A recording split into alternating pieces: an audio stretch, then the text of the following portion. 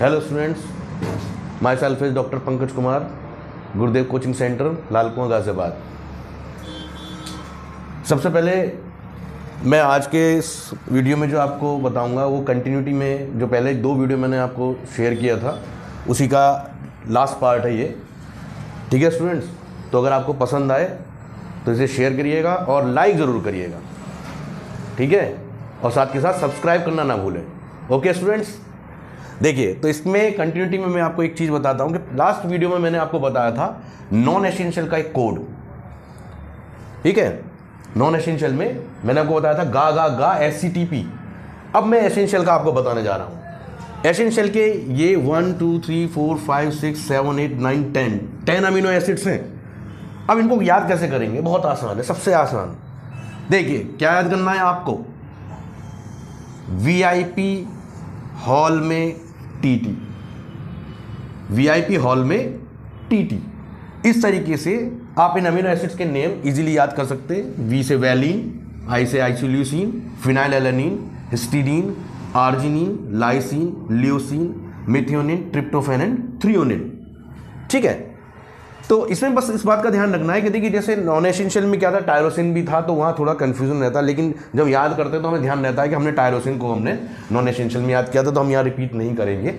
इसमें जैसे मैंने वहाँ पर आपको एसिडिक और बेसिक अमीनो एसिड बताया था, यहाँ पर कुछ चीज़ें आपको ध्यान रखनी है। एक दो क्वेश्चंस बस यहाँ बनेंगे तो ये टॉपिक आपका यहाँ कंप्लीट हो जाता है। इसमें क्या है? जैसे ये मिथ्योनिन मैंने आपको बताया था उसमें सिस्टीन सिस्टीन के साथ में ये मिथ्योनिन जो है, ये अमीनो एसिड इंपॉर्टेंट है। ये एक सल्फ़र कंटेनिंग अमीनो एसिड होता है, मिथियोनिन। और यही है वो, जिसका मैंने ज़िक्र आपसे पहली वीडियो में किया था कि प्रोटीन सिंथेसिस में, जो बायो के स्टूडेंट्स हैं, उनके लिए बड़ा बेनिफिशियल है ये, कि जब प्रोटीन सिंथेसिस स्टार्ट होता है तो इस अमीनो एसिड की प्रेजेंस में ही प्रोटीन सिंथेसिस स्टार्ट होता है। साथ के साथ, एक क्वेश्चन यहाँ पर, बहुत छोटी सी क्लास से नाइन टेन से, एक क्वेश्चन पूछ लेते हैं कि पॉलिश राइस में कौन सा जो है विटामिन नहीं होता या क्या पार्ट है जो रिमूव कर दिया जाता है? तो वो पार्ट असल में होता क्या है? वो है लाइसिन। जो राइस होता है, उसके ऊपर जो हस्क वाला पार्ट होता है, उसमें लाइसिन प्रेजेंट होता है। अगर हम उसको पॉलिश कर देते हैं तो उसमें से लाइसिन रिमूव हो जाता है। ठीक? तो ये राइस से रिलेटेड हो जाता है। और एक फिनाइल एलेनिन। आपने पढ़ा होगा, एक डिज़ीज़ होती है, फिनाइल कीटोन यूरिया। जिसमें कि अमीनो एसिड की एक्सेस क्वांटिटी में जो अमीनो एसिड है, वो यूरिन से पास होना शुरू हो जाता है। तो वो इस अमीनो एसिड की एक्सेस की वजह से है। फिनाइल कीटोन यूरिया डिज़ीज़ इसकी वजह से होती है। तो ये कुछ अमीनो एसिड्स के लिए मैंने आपको यहाँ पर बताया, जो कि इंडिकेट करता है किसको? एसेंशियल अमीनो एसिड्स के लिए। ओके स्टूडेंट्स तो एक तो इसको ध्यान कर लीजिए। तो अब आपके पास में एसेंशियल का भी कोड हो गया और नॉन एसेंशियल का भी कोड हो जाता है। इसके बाद एक सबसे इंपॉर्टेंट पार्ट मैं आपको यहाँ पर बताऊँगा, इस टॉपिक का जो अमीनो एसिड्स मैंने आपको डिस्कस किया है, इसका एक बहुत ही इंपॉर्टेंट टॉपिक एक बहुत, जो कई बार बोर्ड एग्ज़ाम में पूछा गया है। और उसके लिए आपको करना क्या है? एक रिएक्शन आपको देनी है, और वो टॉपिक है पेप्टाइड बॉन्ड और पेप्टाइड लिंकेज ठीक है? बहुत आसान है, इसको अच्छे से समझ के चलिएगा यहाँ पर। देखिए पेप्टाइड बॉन्ड बनता है दो अमीनो एसिड के बीच में। जब दो अमीनो एसिड एक दूसरे से ज्वाइन करते हैं तो वाटर का लॉस होता है और दो अमीनो एसिड जब जुड़ जाते हैं तो जो बॉन्डिंग बीच में बनती है, उसे हम कहते हैं पेप्टाइड बॉन्ड पहचानेंगे कैसे? बहुत सारी जगह आपको मिलेगा पेप्टाइड बॉन्ड जैसे कि आप पॉलीमर में जाते हैं तो पॉलीमर में भी आपको पेप्टाइड बॉन्ड का फॉर्मेशन आपको मिलेगा। यहाँ पर मैं एक एग्ज़ाम्पल लेके आपको बताता हूँ।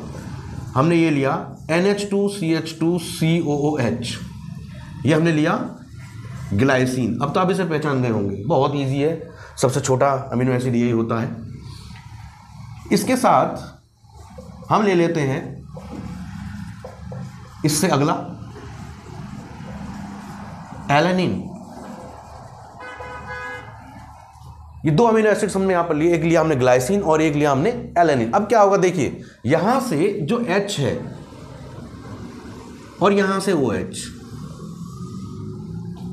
तो रिमूवल हुआ किसका? वाटर का। तो H और OH का रिमूवल कर दिया हमने, यानी वाटर का लॉस हुआ। अब यहाँ क्या बचेगा? दोनों अमीनो एसिड को यहाँ पर ज्वाइन कर दीजिए और आपका जो कंपाउंड है या मॉलिक्यूल है, वो यहाँ पर तैयार हो जाता है। देखिए N H two C H two O और इस तरफ़ बचेगा एच और फिर यहाँ C H C H three C O H ये है यहाँ पर पेप्टाइड बॉन्ड दो अमीनो एसिड के जुड़ने से यहाँ जब वाटर मॉलिक्यूल रिलीज़ होता है तो ये जो C O N H group यहाँ पर आया है, ये पेप्टाइड लिंकेज या पेप्टाइड बॉन्ड होता है. अब इसमें एक बात का ध्यान और रखिएगा. देखिए, इसमें एक चीज़ और मैं बताता हूँ आपको. यहाँ पर हमने कितने अमीनो एसिड्स को ज्वाइन किया है? कितने हैं? टू तो ये जो पूरा मॉलिक्यूल यहाँ पर बनेगा, ठीक है? ये पूरा मॉलिक्यूल जिसमें टू अमीनो एसिड्स प्रेजेंट है तो इसे हम कहते हैं डाइपेप्टाइड और इसी तरीके से, अगर मैं इसमें एक अमीनो एसिड को और ज्वाइन करता हूँ इसके साथ फॉर एग्जांपल यहाँ पर मैं फिर से गिलाइसिन का एडिशन कर देता हूँ इसी डाइपेप्टाइड में। तो यहाँ पर भी H और OH का रिमूवल होगा। अब यहाँ पर भी इसी तरीके से ये मॉलिक्यूल तो ऐसे चीज़ रहेगा। केवल वहाँ से H और ओ OH का रिमूवल करेंगे हम। देखिए, बनेगा क्या? N H two C H two C O N H C H C H three C O और फिर यहाँ पर क्या आया? एन एच और C H two C O H अब आप देखेंगे यहाँ पर। एक पेप्टाइड लिंकेज और एक दूसरा पेप्टाइड लिंकेज यहाँ पर था। कितने अमीनो एसिड को ज्वाइन किया हमने यहाँ पर? टू तो यहाँ ऑलरेडी ज्वाइन थे। थर्ड हमने यहाँ पर ले लिया।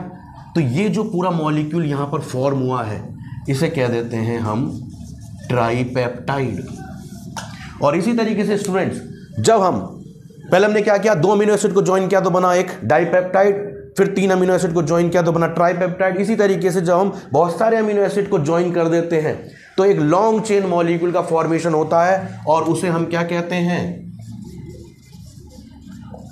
पॉलीपेप्टाइड और देखिए, यही पॉलीपेप्टाइड आगे चल के क्या बना देता है? प्रोटीन तो इस बात का ध्यान रखिएगा कि बिल्डिंग ब्लॉक क्या है? अमीनो एसिड अमीनो एसिड्स आपस में ज्वाइन होकर के क्या बना देते हैं? पेप्टाइड लिंकेज के थ्रू डाइपेप्टाइड ट्राइपेप्टाइड पॉलीपेप्टाइड और पॉलीपेप्टाइड की लॉन्ग चेन को ही हम क्या कह देते हैं? प्रोटीन तो इस तरीके से प्रोटीन का फॉर्मेशन यहाँ पर हो जाता है। ठीक है स्टूडेंट्स तो ये दो चीज़ें जो मैंने आपको यहाँ पर बताई हैं, इनको अच्छे से आप प्रिपेयर करिएगा। और फिर से मैं लास्ट में, फिर से आपसे एक बार और कहता हूँ कि हमारी जो वीडियो है, अगर आपको अच्छी लगी हो तो लाइक करिएगा शेयर करिएगा और सब्सक्राइब ज़रूर करिएगा। ठीक है? और कोचिंग का नाम तो आपको पता ही है गुरुदेव coaching centre Lal Kuan Ghaziabad. Okay students thank you